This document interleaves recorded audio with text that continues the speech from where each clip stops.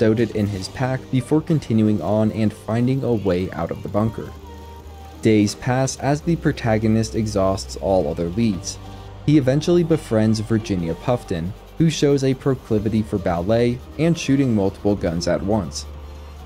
Before leaving Site 2, the protagonist aims to discover the fate of Barbara Puffton, as well as the source of the mutants running amok. Just over two weeks since his arrival at Site 2, the protagonist enters the last bunker marked on his GPS. Deep in the bunker, he discovers what appears to be a young girl's room.